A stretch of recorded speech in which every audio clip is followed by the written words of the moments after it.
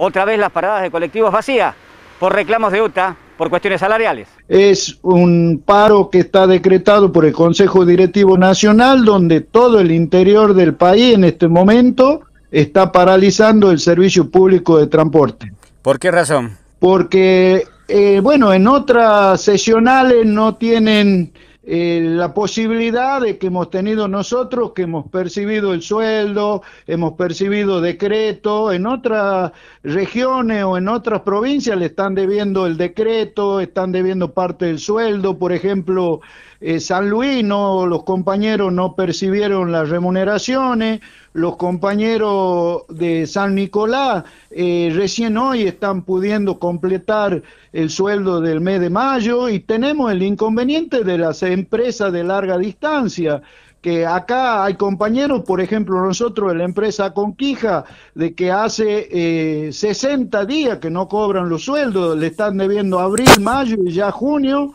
entonces esto se torna cada vez más imposible que los trabajadores puedan seguir soportando este, este atraso salarial.